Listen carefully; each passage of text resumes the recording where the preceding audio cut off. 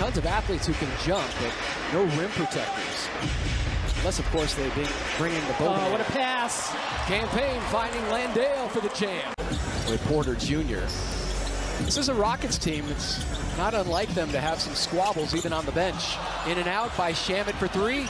Landale cleans up inside.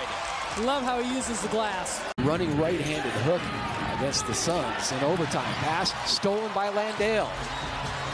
Vision by Chris Paul. Booker, free for three. Tipping, jock, and down it goes.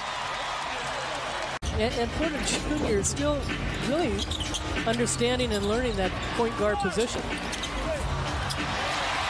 Jock. Landale cleaning up again off the Bridges miss. The young referee from South Korea.